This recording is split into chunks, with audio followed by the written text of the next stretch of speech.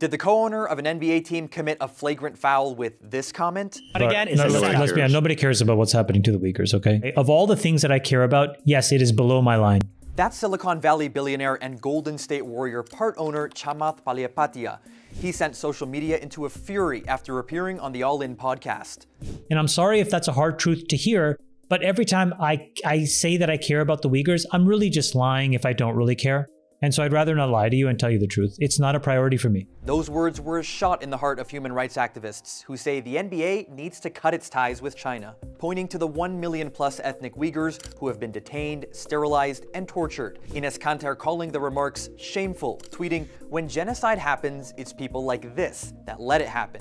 For the past 40 years, the NBA has cashed in on China's love of basketball, making billions of dollars through TV deals and exhibition games inside the Red Dragon.